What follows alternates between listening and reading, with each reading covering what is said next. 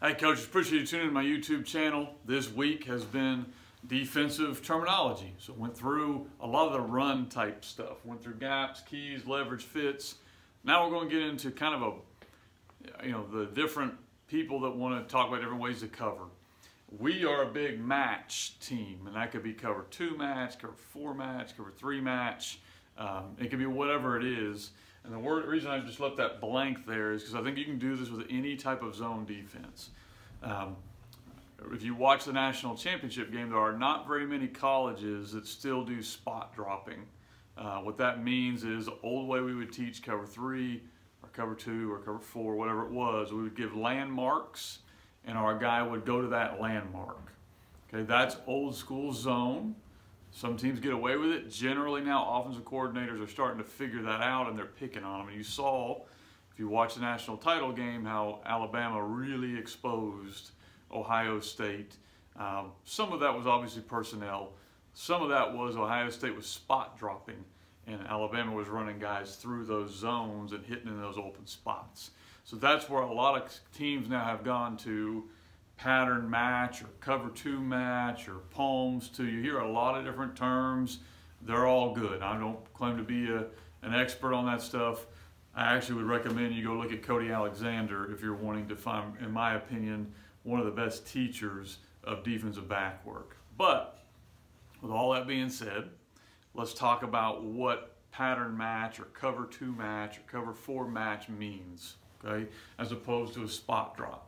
So I'm going to give you basically how we would do like cover two read and with it being a match, okay, uh, where we're not running the landmark. So old school way, you tell your outside linebacker, you got a hook to curl, corner, you got flats, okay, safety, you've got over the top. Nothing inside of you, you got that deep cover two. All right, that's the way it was taught. Essentially, that's usually how they're going to end up. But we now teach reading people, okay, not reading grass because we want our kids stopping the ball. So the way we'll teach it a lot now, if we're going to do some cover two read, is we want to have our guy get his hands and disrupt number two. So as he's going, my eyes immediately go to two because I want to get contact with him. But then I'm going to actually put my eyes on number one and he's going to dictate how I match the zone. So if number one runs any kind of inside route, inside breaking route, it could be a curl, could be a dig, could be a slant, could be whatever. I am working to him. Okay, if he runs some kind of flat route, like a hitch, okay, or an out or whatever we're to do over here, I'm to slowly work to him. I've still got my hands on this guy, but I'm working to that guy. If he runs off, so let's say he runs a go or runs a post or runs anything deep, and you, we've got to determine where that is you know, usually it's game to game, but how deep he runs, I'm now matched on, locked onto this kid. Okay, so I'm going to stay on him because nothing has threatened my zone. And that's where, if you look at it, cover two match, four match, whatever you want to call it, comes into play. I'm in this coverage, but we're matching people. So if this guy runs through my zone here, and this guy runs into my zone, I am matching up in man with that guy. That's the biggest difference between a spot drop and a match. A lot of times that linebacker would hit that guy and his eyes go back on the quarterback, okay, and he never sees this dig curl coming behind him, which is one of the reasons we actually will teach to match that instead of spot drop it, okay. Other thing you'll see a lot of times, let's work with our safety, same deal. So our safety's eyes are going to be on number two, our corner's eyes are going to be on number two. So when we get this look right there, he knows I am with him, and at whatever point, I'm going to match him in zone. Okay, I'm going to match him in zone. This corner's in the same deal. So what's going to end up happening on a route like this, okay, more than likely, that corner is going to read this vertical, communicate the in break, and try to get underneath it. We're actually probably going to almost double team this, and our outside backer is going to have to pick up that dig as a good route, okay? it takes a little bit deeper, the safety in the corner will have to communicate that. What's happening is we're both maintaining our leverage. We talked about that before.